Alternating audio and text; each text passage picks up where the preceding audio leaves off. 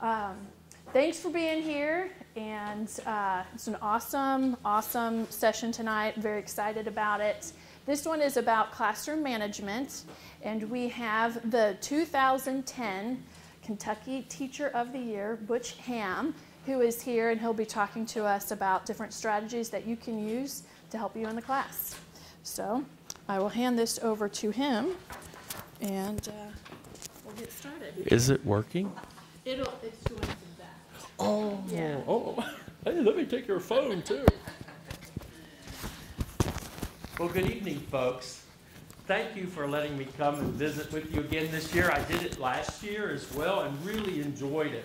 And I'll tell you a little bit more about myself as soon as I get situated here.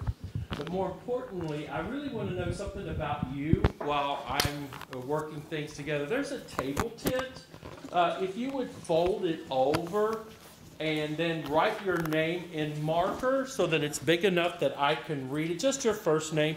And then I really would like to know your school as well so that I know whether you're at an elementary, middle school, or high school. Uh, and uh, there are markers inside those little baskets sitting around.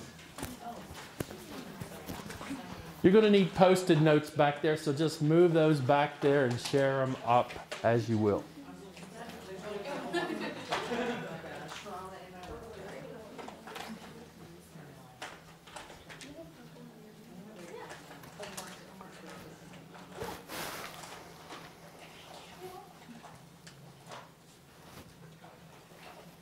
So on your table tent, on the back side, or somewhere inside if you choose, I want you to write down the strangest thing that ever happened in your classroom.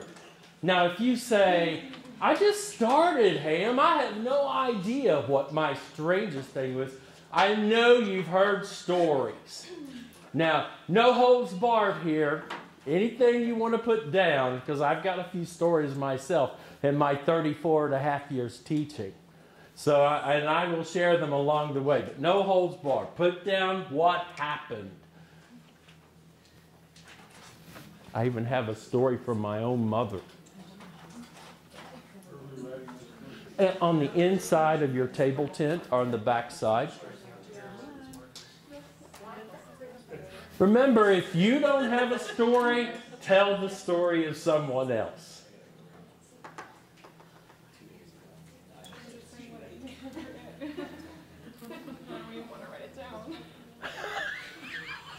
It's that good, huh? I don't even want to share it out loud. Oh. I will tell you, but like, in secret. Good secret. Hush, hush.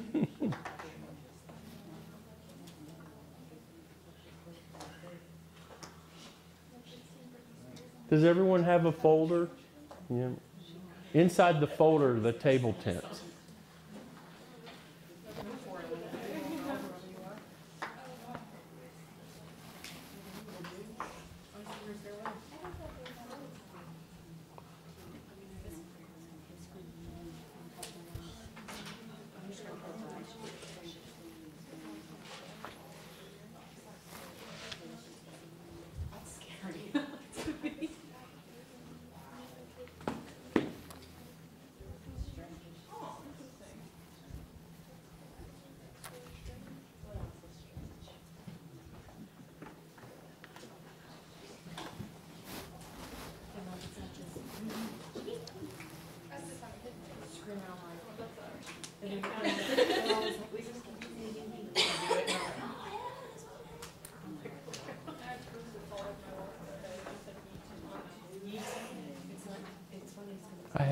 Eyes and I can't get my book up in my face. I can't see it.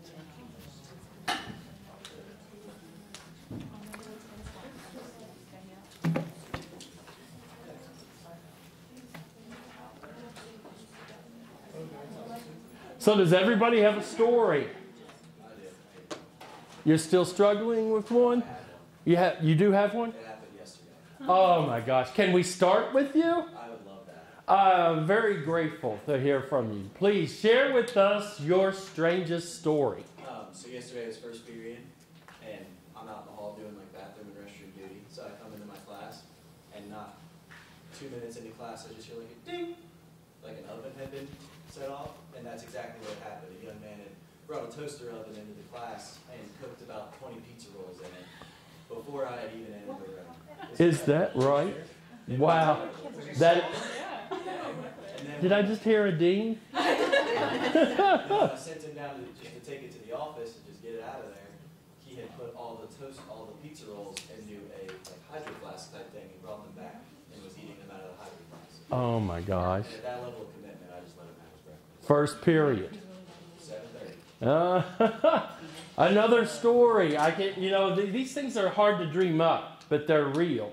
They are very real. Yes, ma'am. Uh, during a lockdown, I had a student open a can of spam and start eating it with his fingers, and we were trapped in there. Oh no. So my room smelled like cat Oh. yeah, the spam. Yes, ma'am. Um, I'm, this is my first year teaching, but I was given the critter classroom. So, so far, in all of the years this classroom has been in existence, there's bats, mice, and now ants.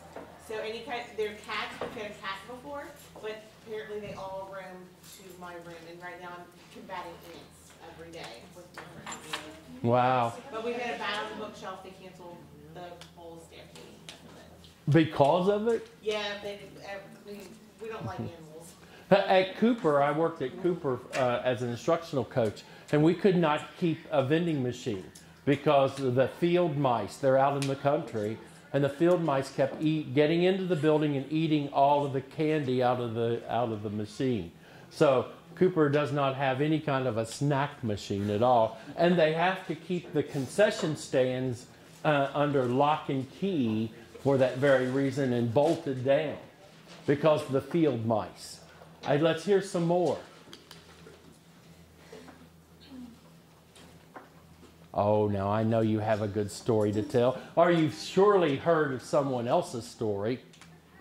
My first year, I'll tell one, and maybe this will get us started. My first year, I was at Ryle High School as a teacher. Uh, I- I'm standing at the door. It's the first day of school, greeting my students, and the lady across the hall, who was, who taught there as well, was watching my students file in the door. And one goes by, and she goes, "Oh my God!" And I was like, "What? What's wrong? You've got her in class." And I'm like, "Who is who is she that makes her so special?" She calls this teacher to retire. She calls this teacher to retire, and she calls this teacher to retire. And I'm like, I'm not close to retirement yet. This is really going to be a problem for me. Needless to say, I managed to work through her issues and got her on board. But that was a scary situation knowing that this person had just walked through. We have another story.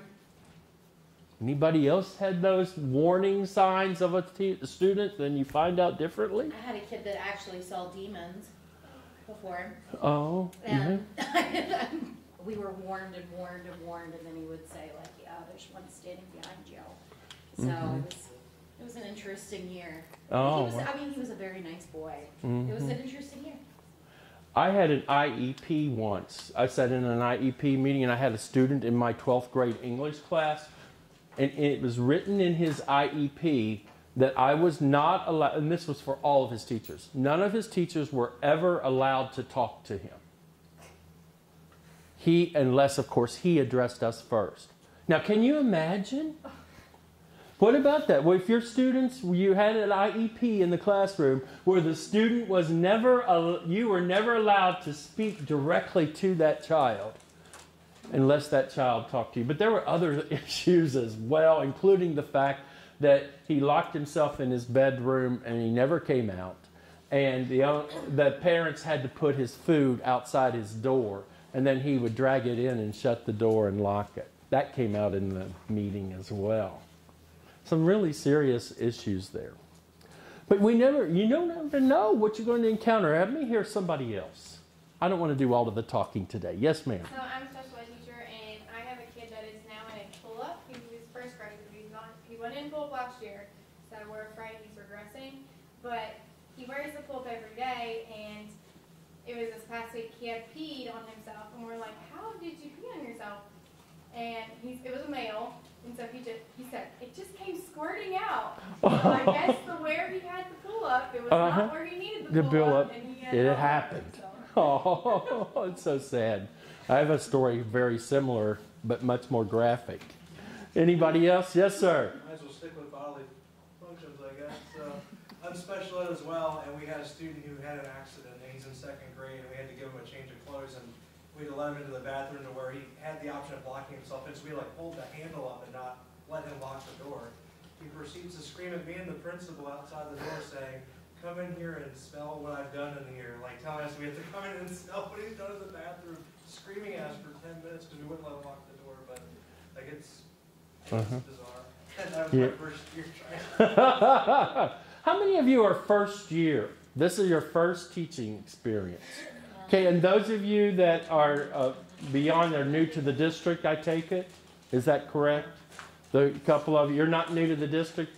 You're just filling in to get some PD today. No, it's it's everybody. It's first year unless they their first year was last year and they were doing the MAT. Oh, okay, okay. Well, good. I, I'm sure you have lots of experiences as well. IEPs are quite interesting. Uh, how many special ed teachers? Uh, oh, a lot of you. Yeah, and trying to set those up with parents that sometimes can be very difficult in ruling on who is well, whose best interest is at heart. Obviously, it's the child. We had a student come in uh, from the middle school who had uh, very high anxiety and emotional issues and anger issues, and the only way to deal with those anger issues was to put him in a sling and let him masturbate. And that released all of the anger. And you go, what? Fortunately, that middle school IEP went away and by the time we got him in the ninth grade. But you go, where do these ideas come from, you know? Was that, did that top yours, Miss Patrick? Kind of. You willing to share? Okay, I understand. It's all right. Anybody else? One more before we kick on. I had all kinds of crazy experiences because I am a second career teacher.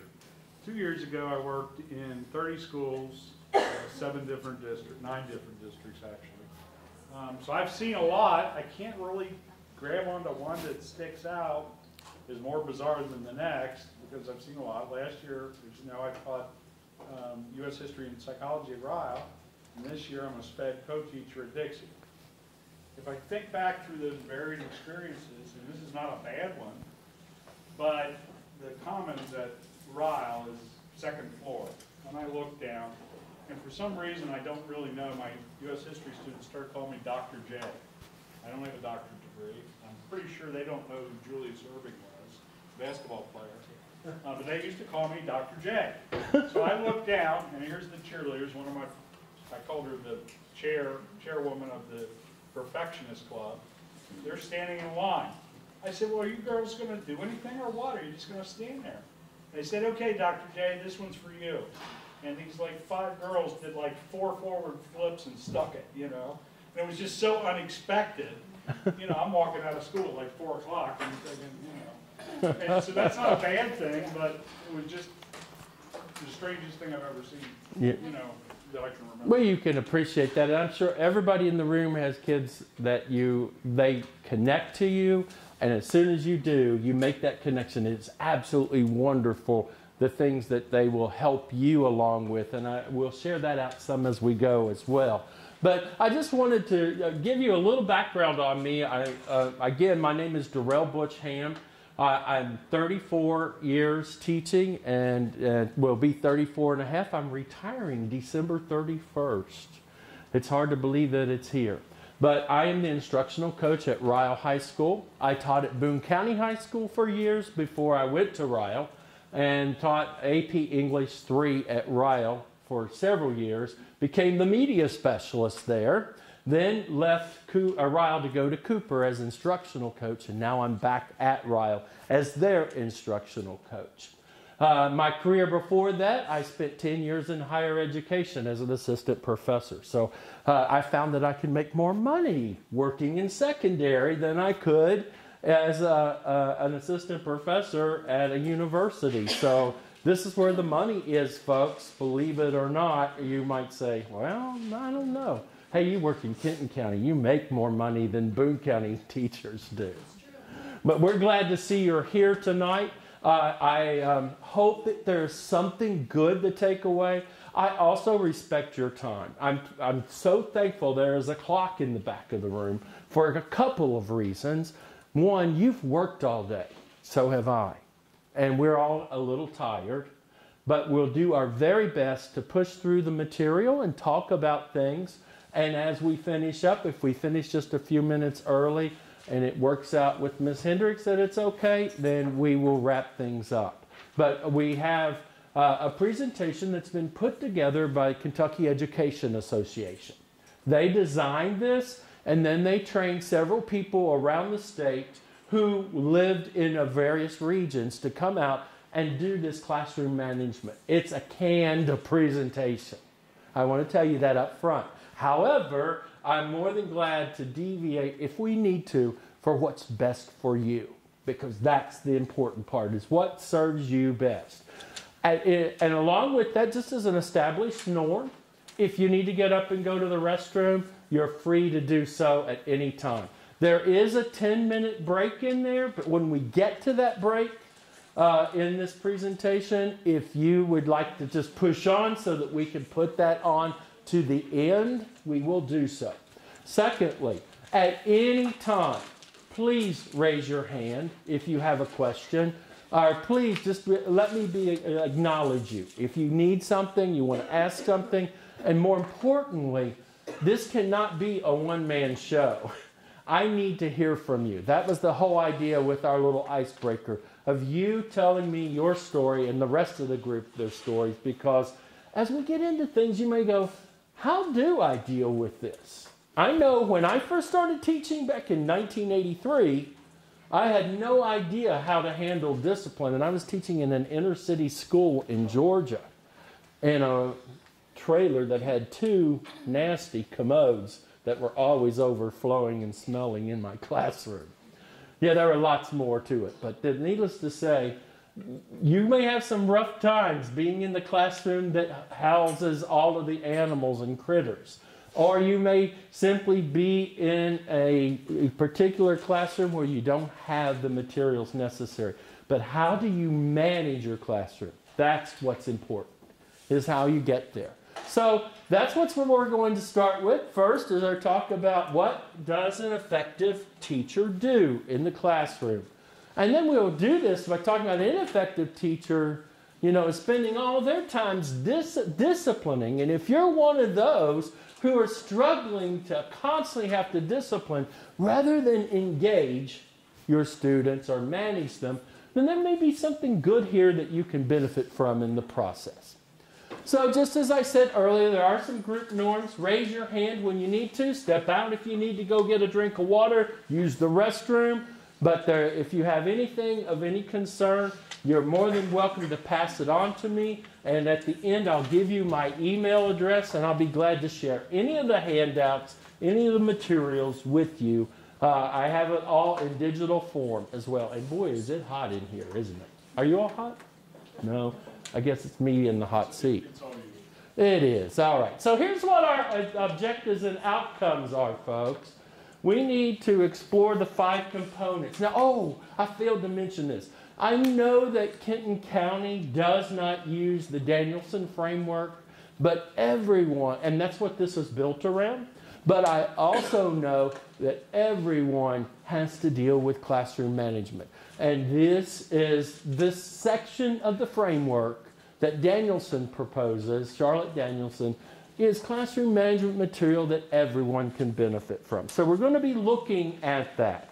In addition, we're going to discover how your own personal preferences and your own communication style impact your students and what do your students do in order to make that communication effective. And to work. We're going to share problems. So I get these up. Oh, I just turned it black. But there we go.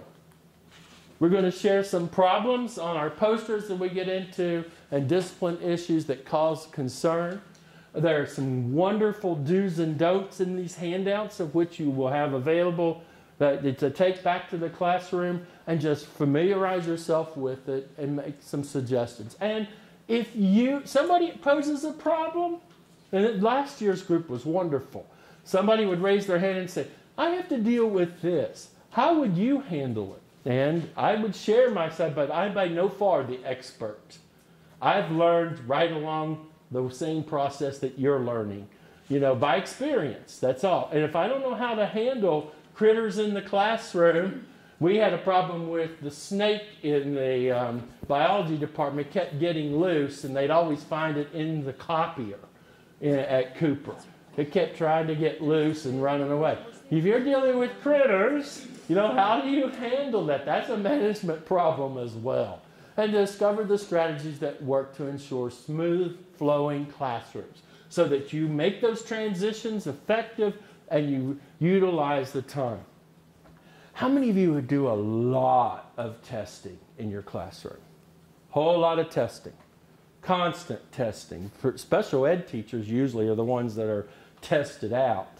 If you're doing a lot of testing, that creates a big disruption oftentimes. And so you being able to manage the time so that you can get the mileage out of your classroom is very important. And there are many who raise their hands. Fortunately, you don't work in Boone County. But yes, we do a lot of testing. As a matter of fact, I just looked in the spring semester, we have 88 days of school, and 42 of those days at Ryle involve some form of testing. 42. That doesn't mean everybody's tested every, you know, the whole school, but think about that. And what kinds of disruptions does that occur occur in with managing your classroom in order to get instruction out? It's difficult. So we, you know, we have to think about the things that we're focused on in that. So real quickly, tell me, what is classroom management? Can you turn to somebody around you? Most of you are sitting beside someone. And tell, just explain to them. Turn to a partner or shoulder partner and say, This is classroom management. What is it?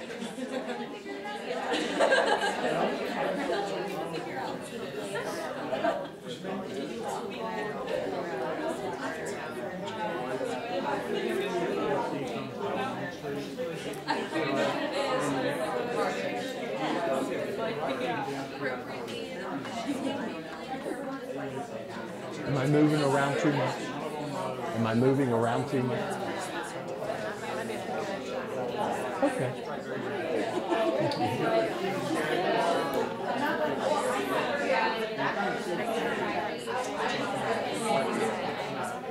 And you got you have extra folders back there for those people. And I have all of this digitally. I can send it to you if you want as well, including the PowerPoint. Mm-hmm.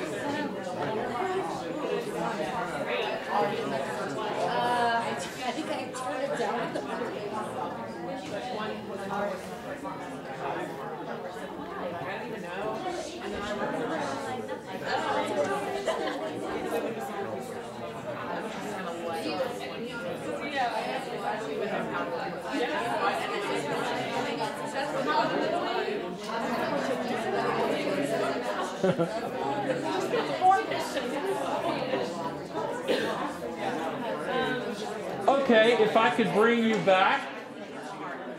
I have something for you. If you would take out this developing procedures, we will use the back of it later. But I'd like for you to write down for me this. Every time we do a teaching strategy, I want you to record it so that you can take it back to your classroom and maybe utilize it in some way. Now, everybody probably has used talk to a, so, a, a shoulder partner. If that's the case, and you want to record the different strategies that I use throughout the evening, just write it down. Talk to a shoulder partner.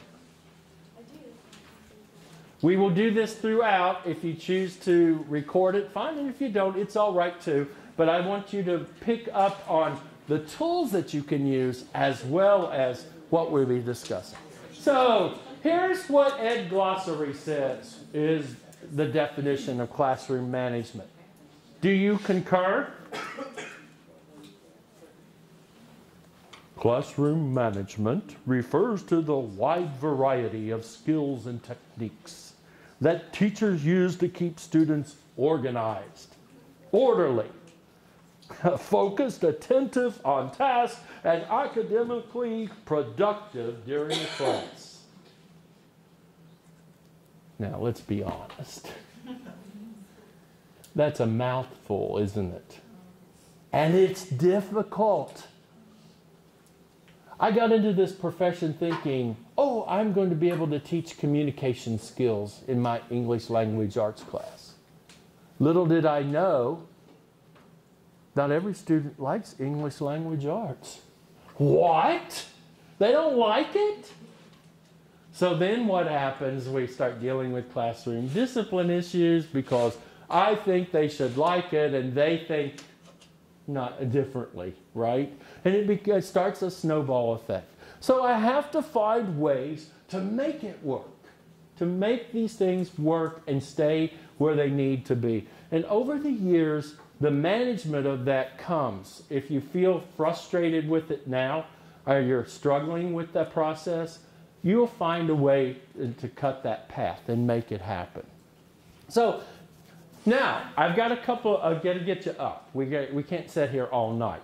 There in the, um, in the boxes are a bunch of post-it notes. What I'd like for you to do is to answer these questions on four different post-it notes. What did your best teacher do? How did your best teacher make you feel? What did your worst teacher do? And how did your worst teacher make you feel? These are anonymous. Once you have finished writing out all four, there's the worst feel. Back there is the worst do. Best feel and best do. Please post your four up on the wall, and then we're going to divide up. You may have noticed there was a little dot on the back of your sheet. Okay? There's red, yellow, green, and blue. I'm going to assign you a poster here in just a second, depending on your dot.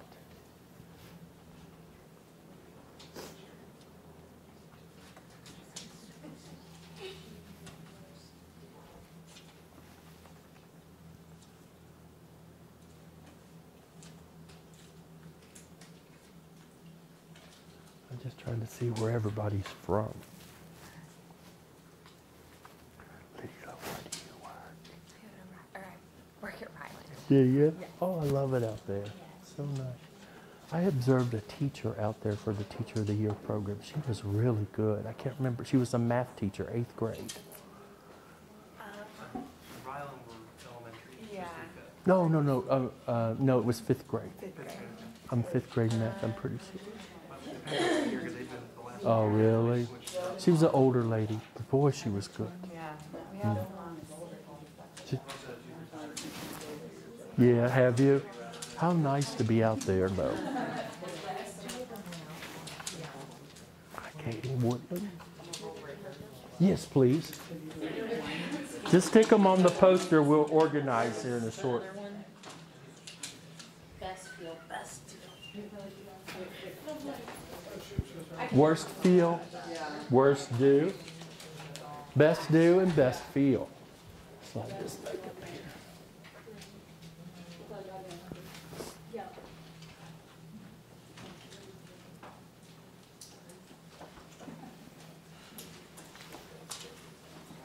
Lots of elementary. They do.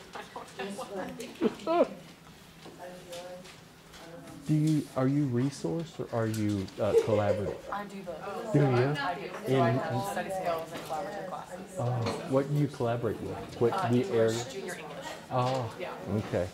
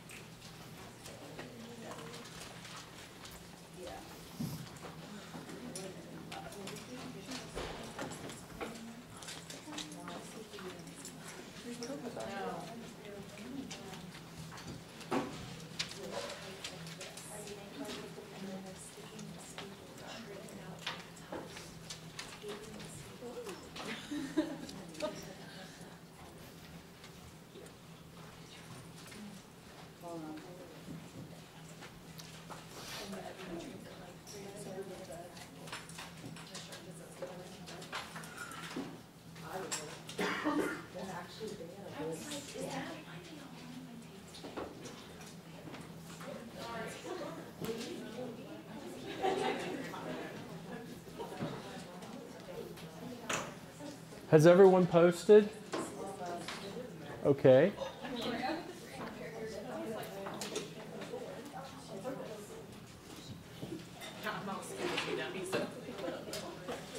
It's an issue.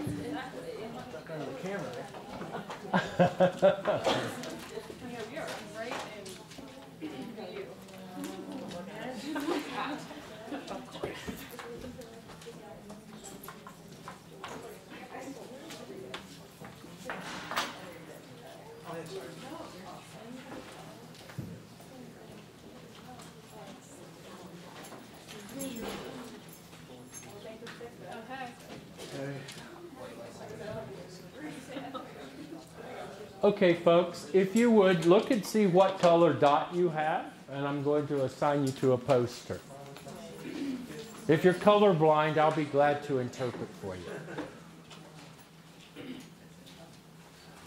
All right, if I could please have the greens come to worst field, but wait till I get them all called out.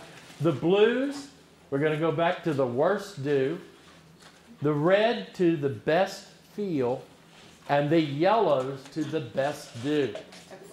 Everybody got it?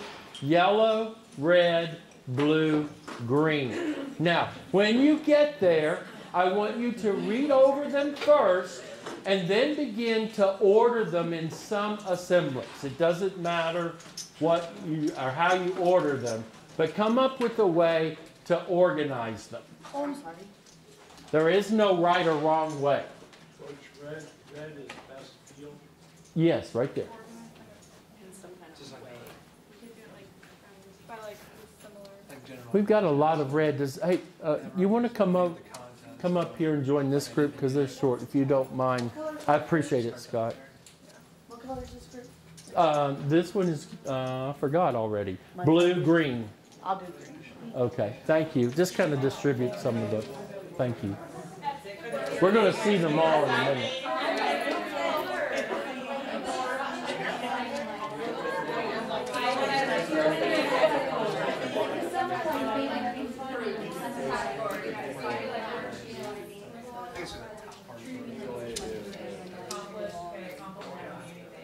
Little, not good enough.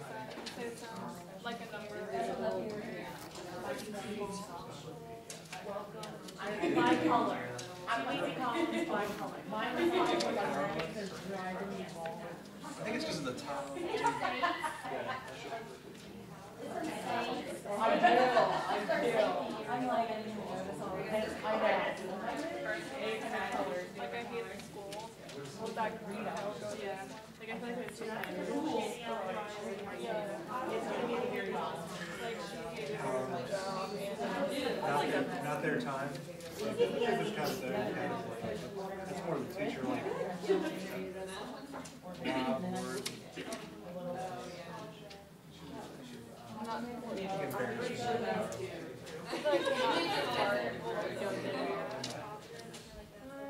bored, unchallenged. I feel like we that it.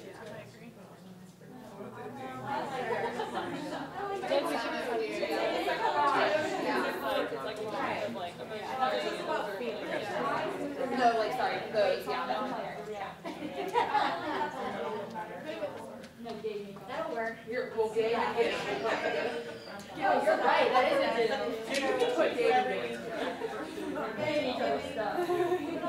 Yeah, and you will have those sometimes.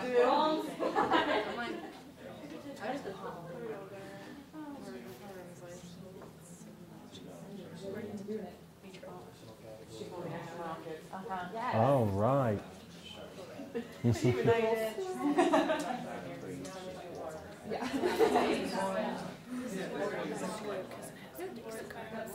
Oh, is that right? Well, you know, that's where my kids go. That's like,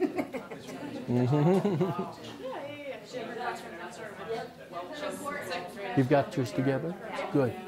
Um, you want to take a pen here and, are you have a pen? Just label what you, how you categorize them.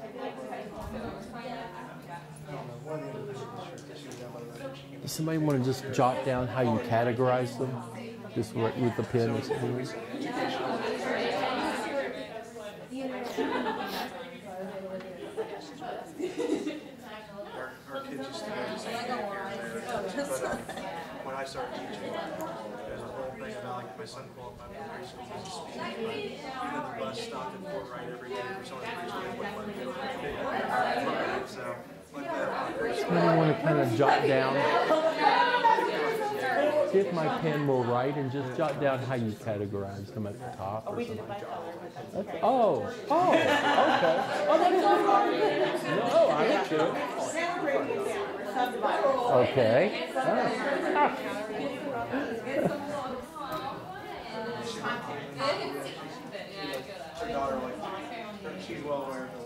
Like, our kids, like, they don't like have like year.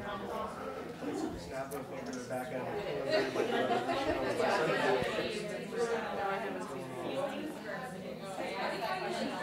Okay, guys, if I could draw your attention back this way, stay where you are.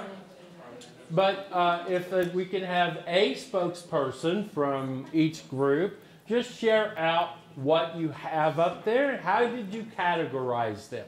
By the way, you can use this tool, and we'll write it down on our list here in a minute. This is a great activity. Notice what you had to do. You had to think, okay, it's a strategy for getting kids to think about how they can put things into categories or to be able to manipulate things into a way of understanding. So, or to even have them to be able to express their opinions. So, and you could use any of the four categories. So we'll record that here in a minute if you're interested. But we'll start with worst feel. Were there anything that just shocked you? And then tell us what you did to categorize them. Um, well, we categorized them by academic Okay. performance, the way they felt in academic performance up here, and then down here with emotional. Okay. Um, I thought the one that stood out to me was like a number. I thought that was creative. Uh, So just felt like a number, like just another number in the class versus like. that's so unfortunate, isn't it? Because there is no connection that's happening there with kids. And we all know that connecting to kids, they have to feel like they are more than just a number. Absolutely. What about back in the best, uh, the worst do? Um, we categorized it in four different. We have relationships, um, your assignments, so how you taught, um, your having a negative atti- or your attitude, and then um, the engagement. Okay. Was there any one or two that just stood out to you all? Um, I think it was kind of surprising that there were so many in all four of those categories. That we kind of, like we didn't have it was all. Uh huh. Yeah. It, and to think that this is what people walk away feeling from particular teachers in their in their own educational processes. Best feel? We categorize ours into um, safe, important, welcome, excited, and empowered. Um, they're just kind of all across the board, but a lot of them were overlapping. Um, all emotional for the most part, except for maybe like these three down here. Mm-hmm. Your little outliers. Yes. Okay. Very good. And what about best do? Uh, Okay, we do, we did it by color first, so we split them by color, and then. This is we our at the top, artistic group. Um, was more like, um, wait, what was it? The content or academic base or how you felt like you connected with their teaching style more. Um, for example, one was like the science experiment, so that specific to teacher chose to portray the content. And we worked our way down um, towards like feelings and the emotional connection that you felt with the teacher and how that impacted you in the best way. Okay, so notice how different people categorize things differently based on strategy. Think about this as you utilize a, this kind of a tool in your own classroom. When you put up a poster and then you have kids go to uh, for four different strategies or even six if you added to it, and they take posted notes and, and plot out things and then take go to it and organize it in some way. It's a great way to get kids up and get them moving. And if you want to record that, this particular tool, after you get back to your seat, you can. But at this point, I'd like for you just to take a gallery walk, read some of the things that are put up. You'll be quite surprised at the things that people say. So if you already know what Best Do is, make sure you found yourself around to the other three to read them.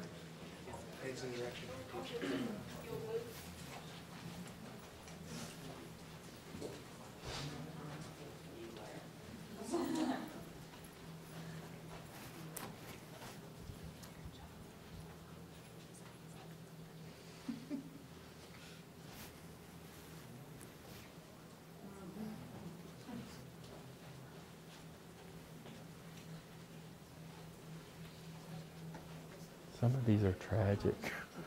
You go, oh my gosh. Law board, little no good enough, smart. You have a teacher to tell you you're not good enough, you're not smart. Mhm. Important. You know, and embarrassed. I've seen teachers do that. Embarrass kids in front of all of their peers. It's so hard on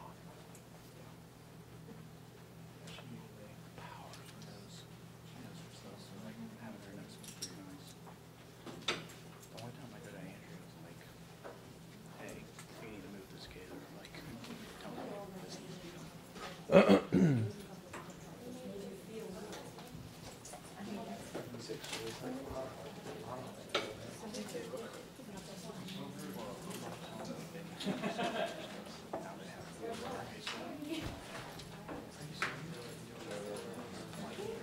They're taking one of my officers, because he's on the, I was even, I told him, I was like, I was like,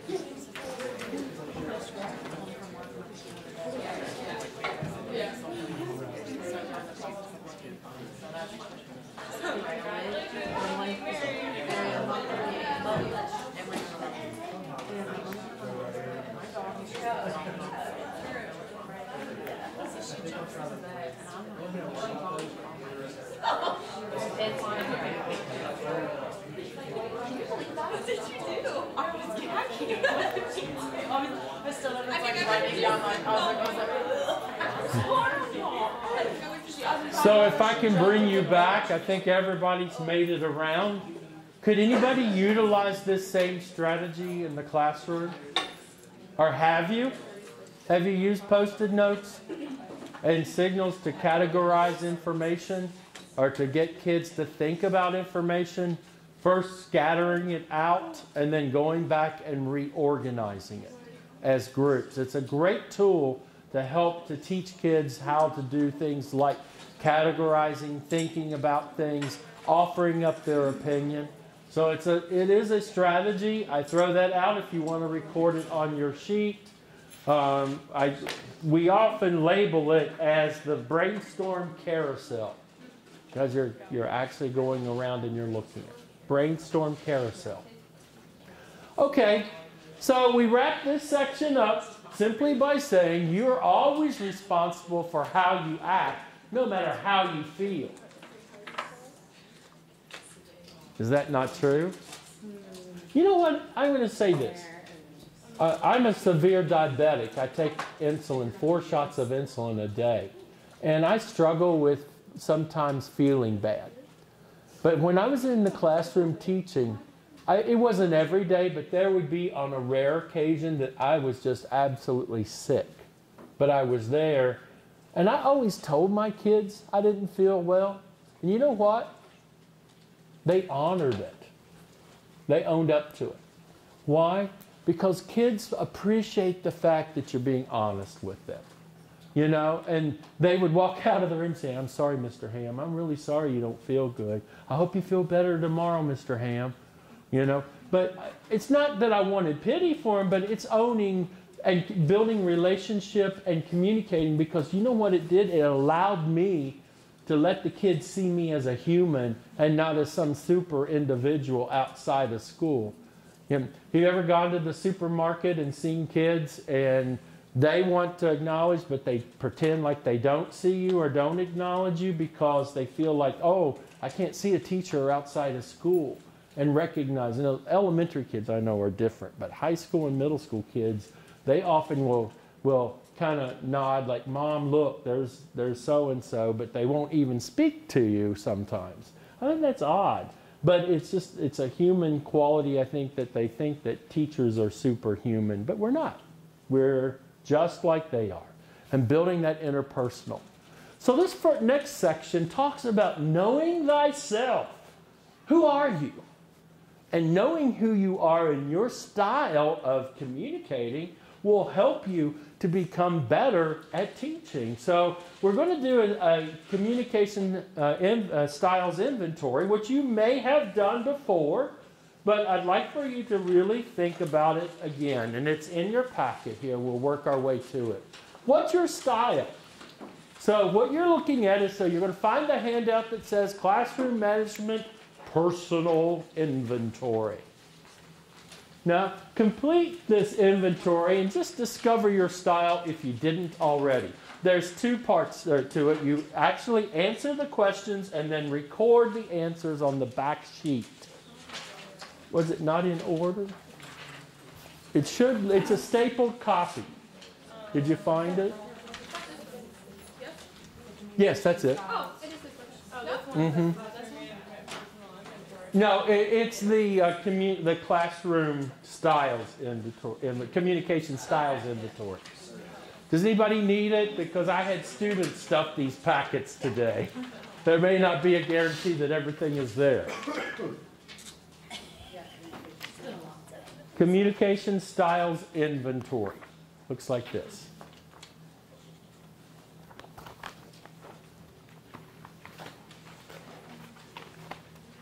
Did you find it?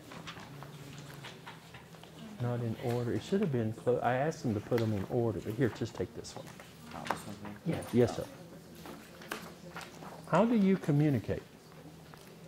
Do your kids know?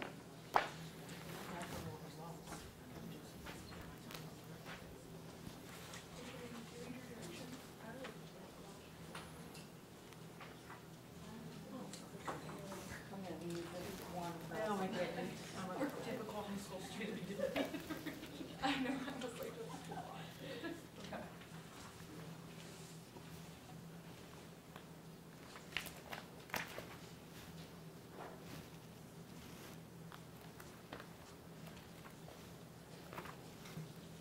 I see where the confusion was. There's a slide missing. I apologize. Do the communication first, and then we're going to move to the classroom style.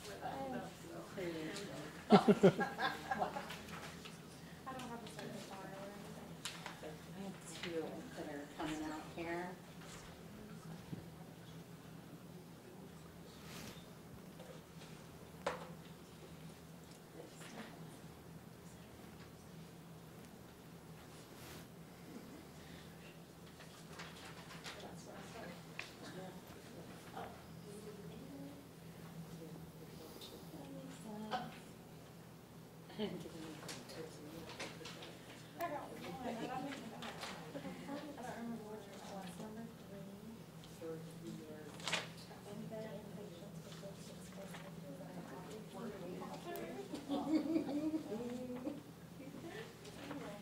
little interest and thoughts and ideas, but show little originality.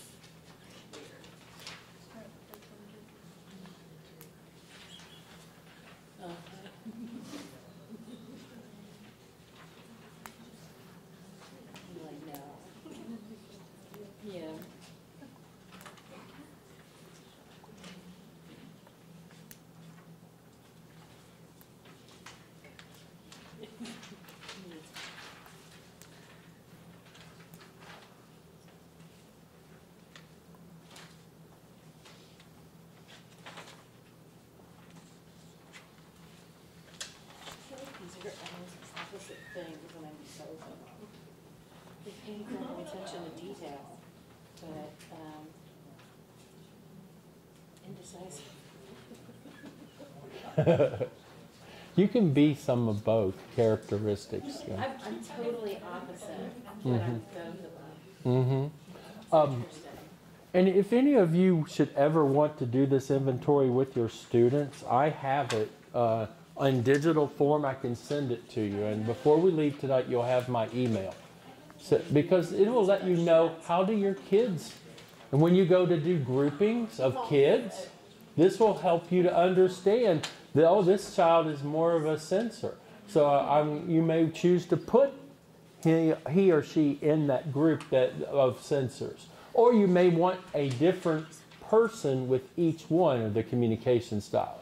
Because oftentimes one style lends itself to be the reporter, the other one, the taskmaster, master, you know. Then you can manage your groupings that way as well. Does anybody use Kagan strategies? I don't mean to interrupt. Do you love Kagan? No? Yes? I do. I enjoy using Kagan, even at the high school level. And I teach two classes for NKU, uh, um, and I do Kagan in my college classes as well. I think it can be done. A bit of High school teachers go, uh, no, that's too elementary. Believe it or not, there's some of those strategies that work very well in the classroom for high school. Yeah. Yeah. A, B, C, and D. And I'll tell you, I don't know what to do for one about. My Kennedy, how did you get yours looking like that? So we do, you have to do it like four is the most likely to you, then three is kind of like you, two is oh. somewhat, and then oh, one's not at all. I don't feel like I was consistent. I'm the only one who did it right. I still think I'm right now. It still, That's just it the still I defines who you are, right? It right? does, my exact I'm still a answer. Yeah, mine's feel. You're a feeler? I just picked all the ones that I had fours in, or whatever, the ones I chose. That's right. I did it, I did it. Sorry, not me. I did too. How did it turn out? How many times have I told my kids that? Mhm. And I did. So this is your, are you a math That's teacher? my communication No. style. Okay. Do as I say. Social studies? That's like the motto. I didn't read those directions. Therefore. But you're kind of even on these three. One day I did a worksheet with directions that you do not have to do. Well, I'm a sensor. This is even So after you've finished, then you're going to go back for number one. Yes. And A, whatever you recorded for A, you're going to write that number in, ac- all the way across. And whatever you covered, you covered for B, you would write that number in. And C, and then D. You're writing the number across, all right? Then after you filled in all of the answers, you go down, Scott, and add them all up. And it'll give you the sense of where you are. Huh? I mean, the way we did it makes sense though. I have the most check marks and It's it's a high volume on action, that's definitely me. Maya definitely is writing course organization, it's called her CD.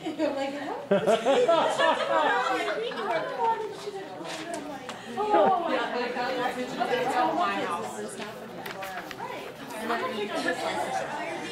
I read these people one day. I am very impatient. I'm already getting these paper with me. This is just properly. Right. This is correct. This, where I just put check marks. I did that too, and Debbie called me out, she was like, "Do you read the directions?" And I went, "No, Jenny, because I'm not Yes. My kids never read the directions. I always tell them to, but. See, I work a lot, so can you just? I know we have people finishing up, and that's great, but uh, for the sake of time, because we've already been here an hour, let's move on and uh, let me just get a brief discussion. Was it true for you or not so true? Now, there are people that will argue, well, I, I, uh, I looked at a couple up here and they had three that were almost the same, that they're across the board, all of these, but one category that isn't. And it may or may not be true for you. It just depends on how you answered the process uh, and were you able to say, well, right in the moment, this is how I feel, but tomorrow, when I have to go back in the classroom after being in a meeting all night, I might not feel the same. So, you know, it's all about that thinking about what you, in overall and in general. How do you? Now, if you know what your students are like, this helps you to be able to be to understand them more. Now, how many of you spend the first two weeks of school just teaching procedure? Ah, and are you all elementary, aren't you? Uh huh. I thought. But we as high school and middle school teachers need to do the same thing. You get them into a routine of what you, your expectations are and how you're going to man, run your classroom. And it is worth every minute of the time you give up to spend that time just teaching procedure. And this is an opportunity, and I have this in digital form, for you to find out about your kids as well. For you to give them this inventory, find out what they're like. When you go to build your Kagan groups, for those of you that said you use Kagan strategies, you may choose to put one of these, each individual students at, their at the table, as opposed to organizing it by, you know, uh, devel- uh, developmental learning versus those individuals who are high interest learning. I know that goes against what Kagan says, but it is. Uh oh, what do we got here? Oh no! In one minute. We don't need this, do we?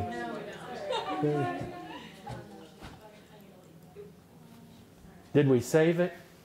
Okay. Now take out the classroom management style inventory. And let's work through that.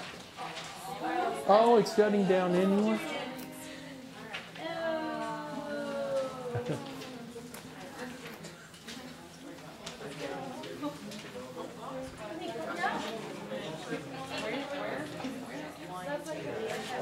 What if it needs a password? Yes. Huh?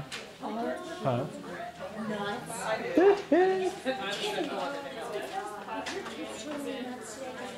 It's starting Windows. Yeah, I guess it's starting back up again. And he saved it to the desktop, so the PowerPoint's on the desktop. Yeah. And then one of my two kids got it. And there's one of them in the office. And I'm like, by the time I got back, I was really on mine because I was waiting to find somebody just to talk to me. No, no. And I'm like, I had to wait for counselors to come up. I'm like, she's about to learn. Right, right. Now what?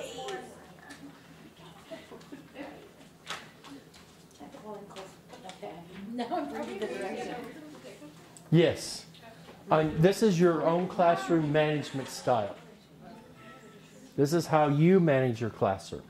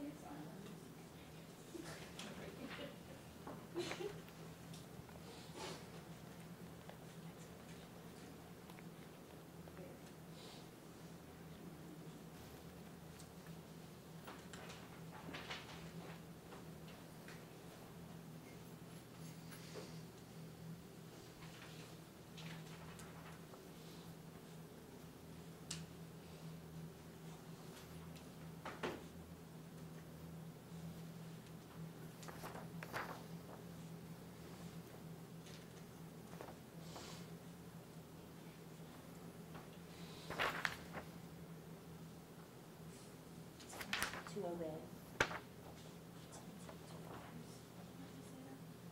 Here, here, this way.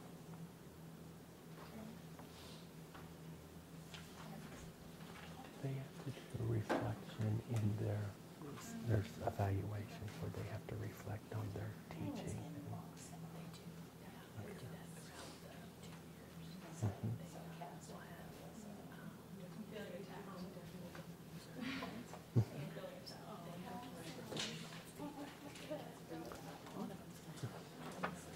That, that's why I'm saying it's feeling a little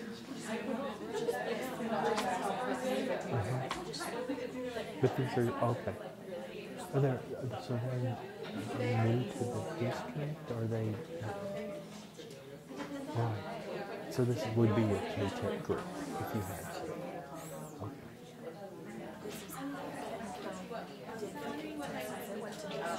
Mm-hmm. I like that. Yeah, that's awesome.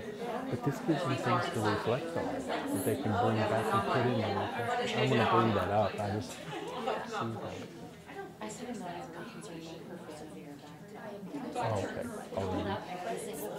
See, mine is very, like, very, Mm-hmm. Do we check more than one? Yeah, Right. so they Mhm. check all that applies. And it's like day. Oh. It makes your job a lot easier. How pretty open-ended. I don't like that. That's my worst. The bigger things. Yeah, I, I'm definitely a little concerned about the handling.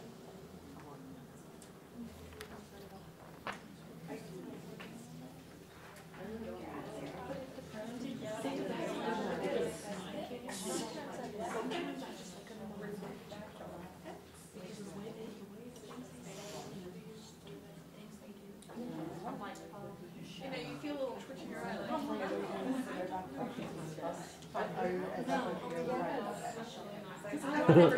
you know, it's sometimes it's hard when a kid says something to another kid, and you know it's the honest truth, but you know it's also wrong. It is so hard to go bite your tongue and not say anything. I had a kid that has, has he's high functioning autism, and he called a kid that was born in a dick. And I was like, yeah, because he deserved it. but you can't you can't say that, but you're like. say that word in school.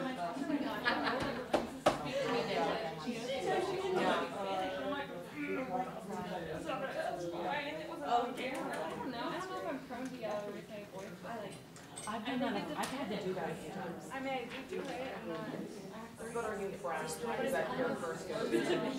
Yeah, yeah, number 11 and 12. I think we're right there. Yeah. Okay. F5, and then, or no, that won't take you to this. It takes you to the beginning. Go to slideshow up at the top. And then from, where does it say?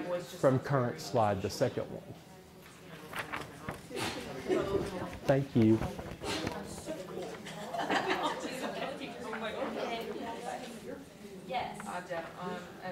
Okay, let's talk. I want to know what came out of this sheet for you. Does it reveal anything about the way you run your classroom? Does it? You, I'm hopefully you were truthful with yourself. What would you like to change, if anything? Okay, how many of you are authoritarian? Hands up high. I want to see it. Don't be shy about it. Okay, got one. How many of you are permissive? Okay. Tentative? Any tentative? Okay. Uh, collaborative? Okay. In your communication with them, your characterizes your management style. A spontaneous? okay. Eclectic? Oh, we got a lot in here that are eclectic. Uh, and dependent. Okay. All right. Then uh, your temperament. Easygoing? Oh, good. You know, I found a long time ago, and I just throw this out even for myself, a strategy was never to let anything get to me. Now, Happy Pills do a nice job with that too. But I want to tell you, just not letting things get to you really helps to manage some of the behaviors. You know, a, a friend of mine said, I don't even know how you can teach uh, uh, kids in school. And, uh, you know, because of the, there, there's so many different behaviors and, and, and such. And I'm like, you know, if you treat them like a human being, even your worst kid, you can win them over in some way. Uh, I'll tell you, uh, I hope this doesn't offend, but this is a really interesting story.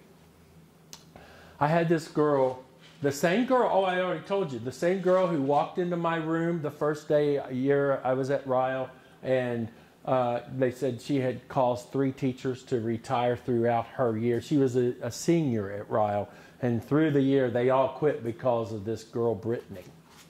So Brittany's in my class, and she's unruly, out of control, obnoxious, but it's a collaborative class. Brittany was also pretty smart. I, I discovered from writing she could write well. And I'm in a collaborative setting. So within a few months, I'm thinking I'm trying everything from you know trying to bring her on board and get her to clean get her mouth shut. I gotta piss, she would say. You know, and I'm like, what? I mean, I'm just not used to, or no one's accustomed to that kind of uh, communication. She want to tell everybody. So, uh, story goes like this, though. Uh, I, I managed to get her on board. And the way I got her on board was to ask her to help me in a collaborative setting. She was bright. She was a good writer. She could do things. And in this classroom where they needed help, it was a vocational classroom for the most part. And the, these guys, it was full of guys, and they all needed help with their senior research paper.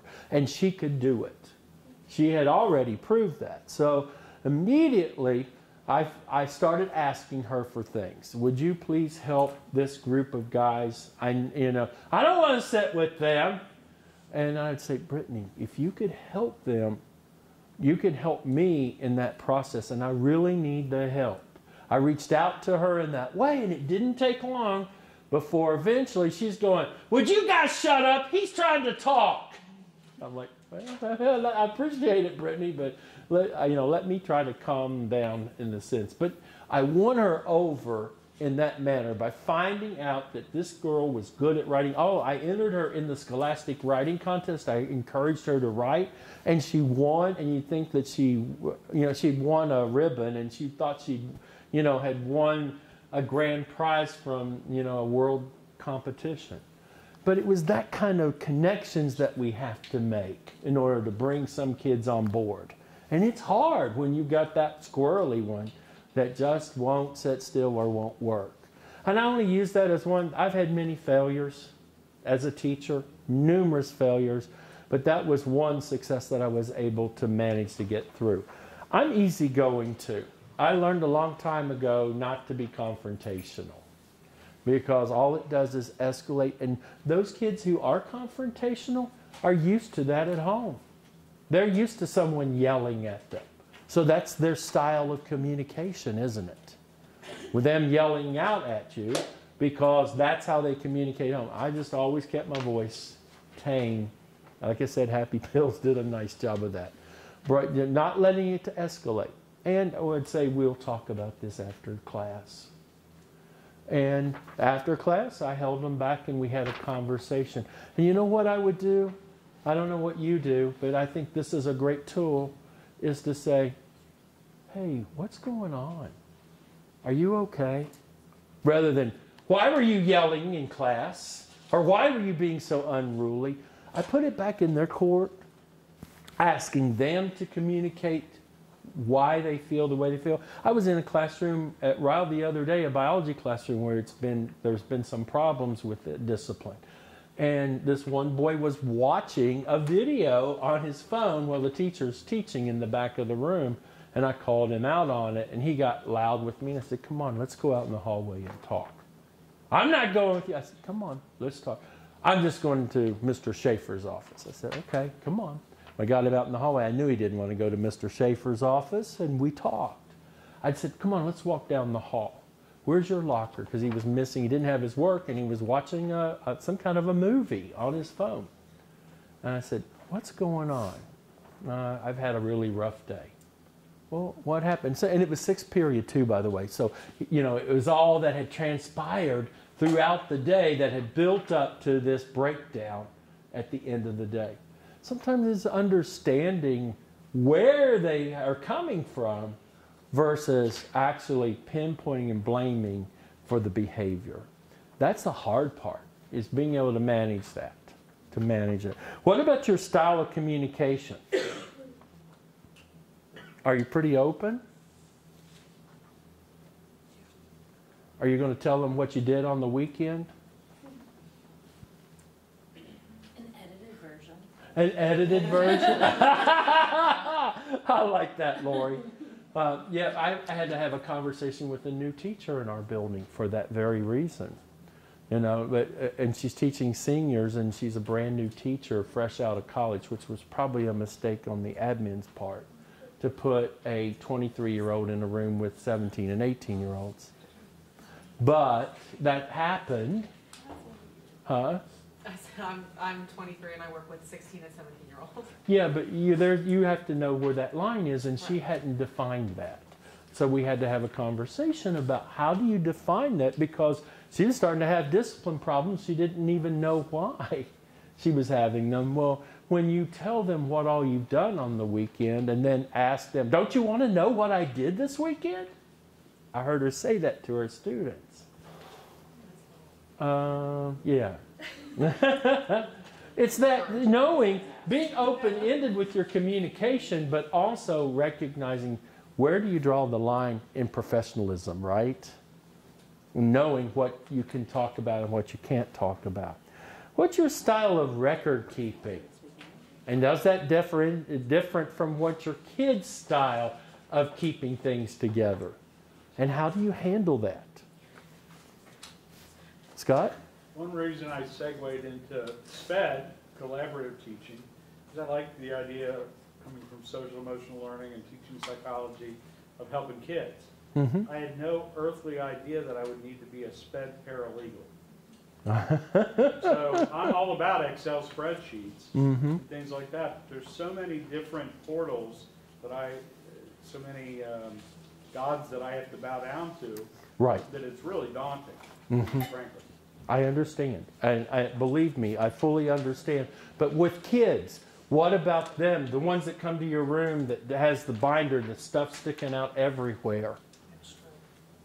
You know? And yet you have the most meticulous desk. That stapler goes right here and nowhere else. Are you that kind of a person? You know? You know, I've even seen teachers have outlines of things. That you didn't put it back where it belongs. You know, that what when we have that kind of a difference, how does that affect how we manage the classroom? My point is this, and through all of this, and we won't continue working through all of the sheet, but I wanted you to understand where you're coming from, both as a communicator and as you manage your classroom. And how does that match up to kids and their differences? You know, we, um, we, we, I have worked with a teacher who the kids call her the judge because she's the judge and the jury. She passes judgment on everyone because they have to do everything the way she expects it to be done, or they lose points. Or they lose out on, if they didn't make it up in the time they were given, it doesn't matter what the excuse is. Sorry, you get a big old zero. That kind of management doesn't work for everyone, does it? I know if you're special ed teachers, you know how you have to be able to work and be flexible. I think if I had anything else that I would preach to you, it is flexibility. The, you'll gain so much more respect from kids. And I'm not talking about the kid who's who does this, you know, habitually, you're going to have to deal with that. But having some flexibility is very important. Uh oh, what? Okay, good. I was like, please no, not another download. Okay, let's see. I got to fix that in order to move forward.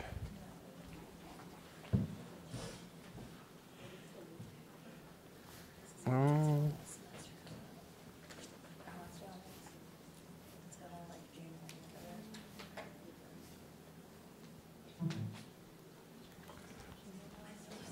um, I don't think we can just hit the space bar. Oh, no. Update is already installed. There we go. So I'm going to skip over this so that we have time to finish up here. I promised you I didn't give you a break, but that we would move through the break time so we get out just a few minutes early. So I'm going to move on. But Charlotte Danielson, and you have her framework, a copy of her classroom management framework. It's domain two, of which she talks about. I know that's different than the way that you measure classroom management but she has some great information and how she breaks it down. I think it's good for you to look at. Just to take a look at her domains of which she offers in uh, classroom. All right, so as I said, I'm going to skip through because I want to get to something else. This is my one of my favorite quotes. It says, "Show respect even to people you don't who don't deserve it, not as a reflection of their character, but as a reflection of yours." you know, the judge and jury teacher that I was referring to passes judgment on kids and they're labeled the first day they're in her classroom and they stay that label the entire year. And it's it's really hard when you know you walk into a classroom and all of a sudden you become that label. You know, it is so important that we have forgiving hearts and that we're open. Yes, kids say things that they don't mean. But being able to forget about it and start the new day over the next day is so important to being an effective manager in the classroom. All right, we're going to do something. I want you to take another post it note, and I want you to write down what you think respect is, and just write respect and then what you think it is. Flip it over Write rapport and what you think rapport is. We're getting ready to do a Kagan strategy with it. Don't put your name on it, just respect, define it, rapport, define it.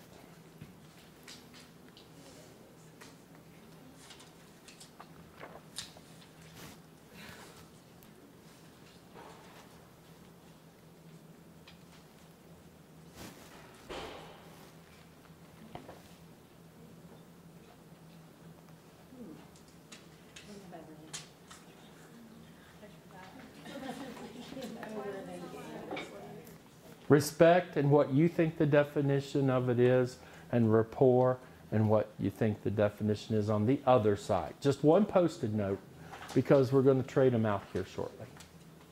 Respect on what you think it is. I mean, I got a feel definition up there, but you think about your own. What it is, or operationalize it. You ever heard that term? It's no such word, by the way, but I always use it.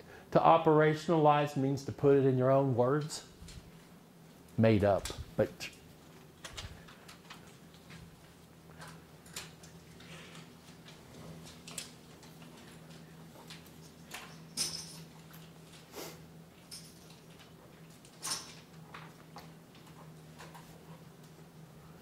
How many of you use Kagan strategy quiz, quiz, trade? I love this one because you don't even have to quiz. All you have to do is share. And it's a great strategy. I use it in my PDs at Ryle all the time. And then teachers have branched out and used it extensively as well. With Quiz Quiz Trade, for those of you that are not familiar with it, this is what happens. You're going to stand up and you're going to pair up with someone. And you're going to introduce yourself if you haven't introduced yourself or know each other. And you're going to say, My definition of rapport is, and then flip it over and say, My definition of respect is. The other person's going to do the same. You can have a conversation if you'd like, but then, after you have done it, you're going to trade it off, and you're now assuming the definition of someone else. and you're going to find another partner. You raise your hand and you find a partner. You hook up. That's right. You hook up and then you say, Hi, I'm Butch Ham. And, and Kennedy says, Hi, I'm Kennedy. We trade off. Did I get it right? Uh, we trade. Uh, we start with our definition that we have. This person's definition of is, and then this person's definition of this is. She shares the same. We have a conversation about it. We trade, and then we raise our hands and move on to another person. It's called quiz, quiz, trade. It's often used when you're trying to quiz students over vocabulary. It's a great tool if you're teaching vocabulary to do so. It'll get you up out of your seat. We'll spend about five minutes on it. So if everybody would stand up. Oh, oh, oh we got writers still. How many? Uh, close. When you're done, stand up. You got to raise your hand, pair up with somebody, trade your definition out, or, or communicate your definition, then trade out and find another partner.